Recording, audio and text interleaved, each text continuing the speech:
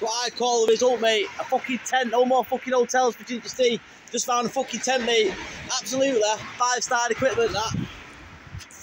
Yeah, I've only got to got a bus pass as well, so that's coming on the bus with me as well, innit? Fucking losers, fucking reapers, mate, innit? Look at that. Lovely food there. Whoa! How do you like your bacon in the morning? I like mine extra crisper eh? with a fucking tent from Nando's. Video!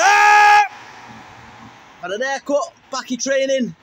Ginger Steve's tip for the day do not drink alcohol if you are a sad person or depressed or got shit in your mind or an addicted nature. Because all it'll do is ruin your fucking day, ruin your mindset, kick fuck out your motivation, and just fucking ruin your week. It's Monday. You wake up, you have a good breakfast, sets you off for the whole day. You have a good day, that sets you off for the whole fucking week, mate. Look at that, I'm having breakfast now, found a tent. Video! Fucking about no more, mate. Go on, Cannon! Video!